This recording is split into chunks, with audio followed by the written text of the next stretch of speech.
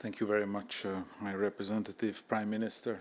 Welcome um, here. I, um, I would want to highlight our continued and active engagement with, U with Ukraine, which uh, demonstrates the seriousness and commitment uh, in our relationships.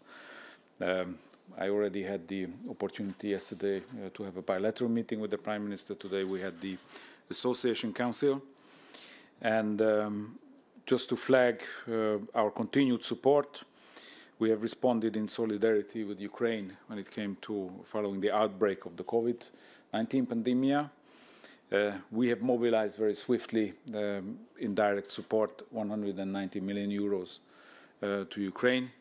And we also provided um, 1.2 billion euros macro-financial assistance uh, to help Ukraine in the economy and in the macrofinances uh, to cope with this crisis.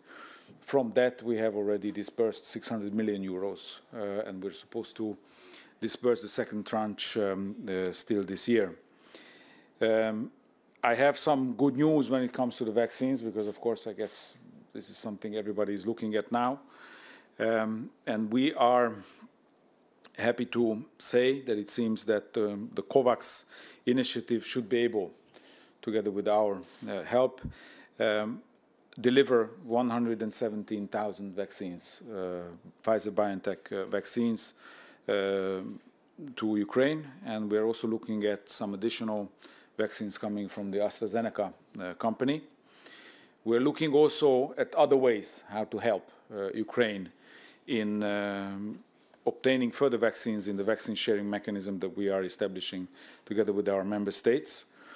And uh, today we are also launching um, an additional project uh, together with the World, World uh, Health Organization uh, worth of 40 million euros, supporting uh, Eastern partner countries, including Ukraine, to uh, organize and establish the vaccination, vaccination campaign, meaning creating the infrastructure for the vaccination, uh, be it uh, the cold chains, be it uh, the other equipment necessary uh, for actually uh, implementing and, uh, and, and jabbing the people. substantive part of the meeting today focused on reforms. many of those have been mentioned already, and their implementation. Uh, we see that the government of Ukraine continue to take a number of very important uh, steps uh, across the board. However, there's still uh, considerable work to be done. Uh, this is very welcome, uh, but we need to see further progress. This includes in particular the need for the reform of the judiciary. We are ready to help and continue to help Ukraine in this regard. We have also discussed the implementation of the association agreement we have agreed to continue to enhance the sectorial uh, cooperation, especially when it comes to digital and telecommunication. This is, some, this is an area that we are front-loading. We are continuing our work on climate and environment, and in particular how Ukraine and the EU could cooperate on a European Green Deal uh, to be extended to uh, Ukraine. And we are ready to take forward our work on, on, on digital uh, and on mutual recognition of electronic trust uh, services. Uh, we also continue to support uh, the public administration reform in Ukraine. And I'm pleased that uh, last night uh, we signed a letter of intent to launch a cooperation between the College of Europe in Natolin, a project by which Ukrainian civil servants will get trainings in European studies. And finally, I want to mention an issue which is close to my heart, that is the rights of national minorities. At the meetings, I, I reiterated the need for Ukraine to ensure the respect uh, for the right of national minorities and uh, to launch substantive uh, dialogue uh, with the representatives of uh, minorities. And this also goes for the law on national minorities, which is still under uh, preparation.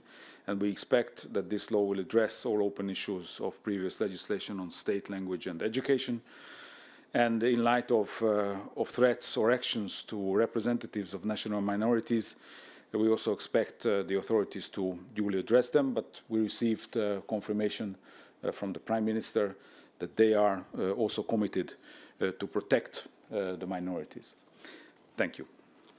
Thank you very much. Now we can go to your questions. Let me, uh, before we do that, let me welcome especially the journalists from Ukraine. I see if you are joining from Ukraine, so very warm, warm welcome to this uh, press conference. So I will repeat just to make sure that everything goes smoothly, the logistics of how we ask questions. So basically you